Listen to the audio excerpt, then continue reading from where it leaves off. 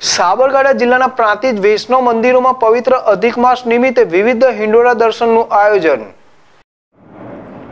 પ્રાંતિજ દેસાઈનીપુરમાં આવેલ મદન મોહન લાલજીના મંદિરમાં પવિત્ર અધિક માસ અંતર્ગત ધર્મપ્રેમી, હરિભક્તો અને મહિલાઓ દ્વારા વિવિધ હિંડોળા દર્શન માટે સુંદર આયોજન કરેલ છે. જે અંતર્ગત કાચના તેમજ ચાંદીના હિંડોળાના દર્શન કરવા વૈષ્ણવ સમાજના ભાઈ બહેનો મોટી સંખ્યામાં આવીને મદન મોહનલાલજીના દર્શન કરીને ધન્યતા અનુભવી રહ્યા છે. પવિત્ર અધિક માસ અંતર્ગત વૈષ્ણવ સમાજના ભાઈ બહેનો ઉત્સવ કરતા નજરે પડે છે. મદન મોહનલાલજીના ગુણ ગાઈને પુણ્યનું ભાથું બાંધે છે.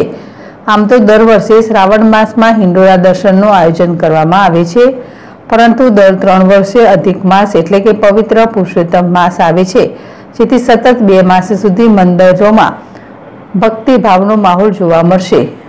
ધર્મગ્રંથોમાં જણાવ્યા અનુસાર અધિક માસમાં જે લોકો સ્નાન, દાન અને ભગવાન શ્રી કૃષ્ણની પૂજા અર્ચના કરે છે, તે લોકો આદિ વ્યાધિ અને ઉપાધિમાંથી મુક્ત થાય છે અને ભગવાન પુરુષોત્તમ તેમના દુઃખ, દર્દ દૂર કરીને પાપમાંથી મુક્તિ આપીને વૈકુંઠ વાસ આપે છે.